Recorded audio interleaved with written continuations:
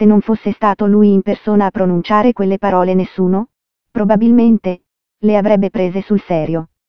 Invece è stato proprio Albano, ospite di Bruno Vespa nel salotto di porta a porta, a rivelare una decisione clamorosa se non fosse stato lui in persona a pronunciare quelle parole nessuno, probabilmente, le avrebbe prese sul serio. Invece è stato proprio Albano, ospite di Bruno Vespa nel salotto di porta a porta, a rivelare una decisione clamorosa. Sempre legato alle sue radici. Un annuncio shock, una scelta sorprendente e inattesa che ha gettato nello sconforto i fan che seguono il Leone di Cellino San Marco da ormai più di 50 anni. Smetto di cantare il 31 dicembre 2018, ha detto, lasciando tutti di stucco.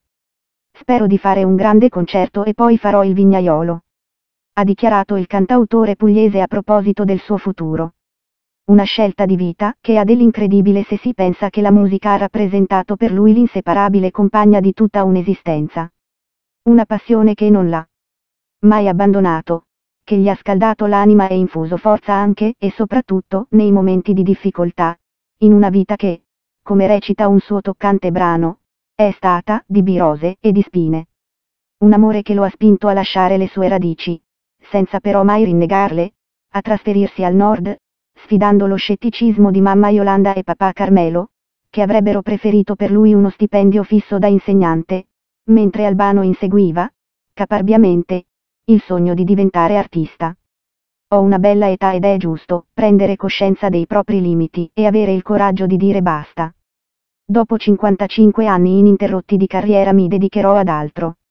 Ha raccontato Carrisi al Corriere del Mezzogiorno, spiegando quali saranno le priorità, i capisaldi di questa sua seconda vita.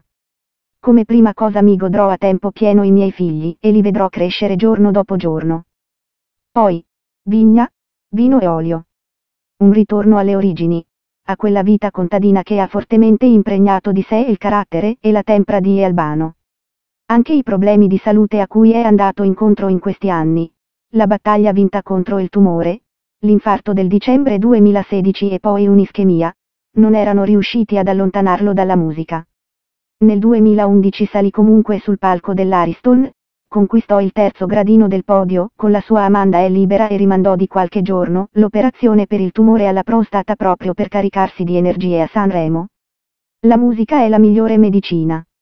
Anche lo scorso anno, nonostante l'infarto che lo aveva colpito, non è voluto mancare all'appuntamento con il teatro Ariston.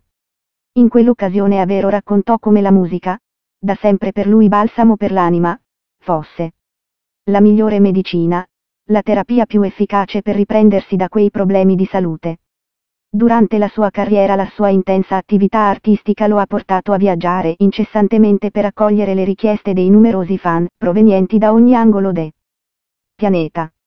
Dall'Europa dell'Est all'America, solo per citare alcune delle sue mete, il leone di Cellino non si è mai fermato un attimo, sorretto proprio da quell'amore viscerale per la musica che lo ha spinto a sfidare se stesso, a confrontarsi con la sua ispirazione.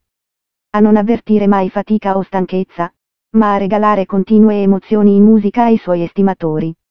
Forse, e lo sperano in molti, il suo potrebbe non essere un definitivo addio, ma solo la volontà di tirare un po' il fiato, di rallentare i ritmi di una vita frenetica.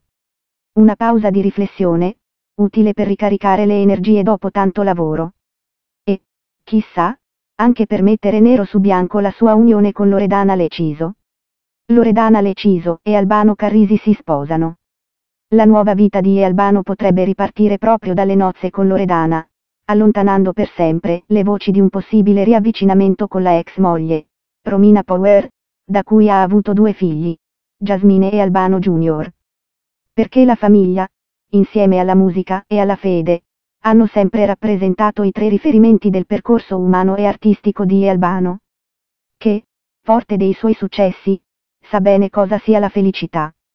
L'ha cantata in uno dei suoi brani più celebri, l'ha rincorsa per tutta una vita, l'ha afferrata, persa e poi ritrovata di nuovo. È stata proprio la sua profonda fede religiosa ad aiutarlo a ritrovarla quando sembrava averla smarrita per sempre dalla misteriosa scomparsa di sua figlia, Ilenia al naufragio del suo matrimonio con Romina Power, sino ai vari problemi di salute che lo hanno colpito negli ultimi anni. nel corso della sua vita, il cantautore pugliese ha affrontato tante sfide proibitive. Ma non si è mai abbandonato alla disperazione e con la sua ferrea tempra contadina ha continuato a misurarsi con sfide sempre più impegnative. Il ritiro di Albano Carrisi dal mondo della musica. Anche il ritiro dalle scene annunciato pochi giorni fa non è affatto un segnale di resa. Piuttosto, è il desiderio di imprimere una nuova e rivoluzionaria svolta, l'ennesima, alla sua vita, segnata negli ultimi 55 anni dalla forza travolgente della musica. Infatti, sembra che per Albano ci siano già nuove prospettive lavorative all'orizzonte, come la possibile partecipazione, ipotizzata da TV Blog, alla nuova edizione di The Voice su Rai 2 in qualità di coach. Insomma, Albano non smetterà di stupirci. Ma una cosa è certa, per la sua musica proviamo già una nostalgia canaglia.